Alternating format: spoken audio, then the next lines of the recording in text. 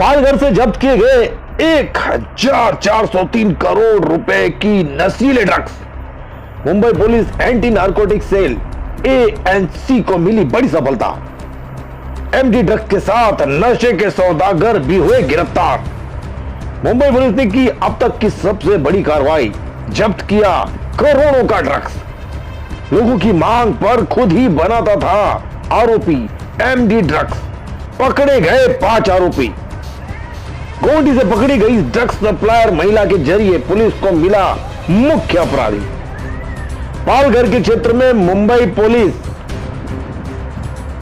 के anti drugs team को एक बड़ी सफलता मिली है।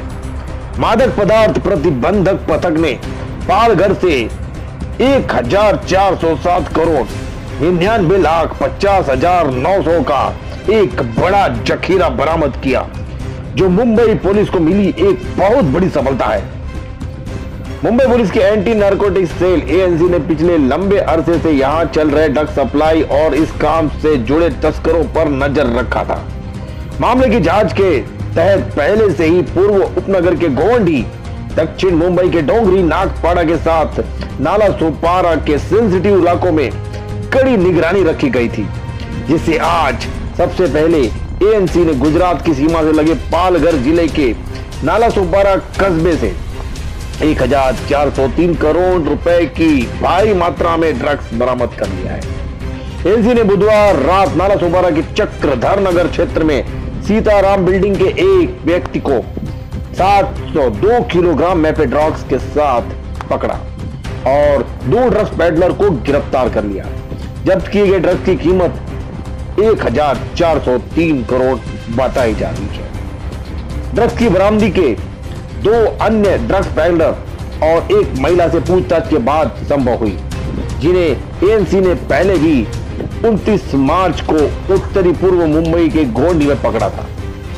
गौरतलब है कि पकड़े गए अपराधियों में एक रसायन शास्त्र से निपुण है, जिसने ऑर्गेनिक केमिस्ट्री की शिक्षा लेकर विभिन्न रसायन अम्लों में एमडी ड्रग्स बनाया करता था। इस तरह से एक शख्स ने बड़ी मात्रा में ड्रग्स बना रखे थे और अपने गिरोह के ज़रिए मुंबई और पड़ोस के जिलों में ये ड्रग्स सप्लाई करता था। इसे मुंबई पुलिस ने अपनी सूझबूझ और सतर्कता के चलते तो नाबूद ही नहीं किया, बल्कि ड्रग्स के इस बड़े जखीरे को जब्त भी कर लिया, जिसकी अंतरराष्ट्रीय बाज़ार कीमत 1408 करोड़ बनाई गई है, बताई गई है। जो अपने आप में एक बड़ी सफलता है। इस सफल ऑपरेशन से मुंबई पुलिस के साहस और दिलेरी की चहुओर प्रशंसा हो रही है।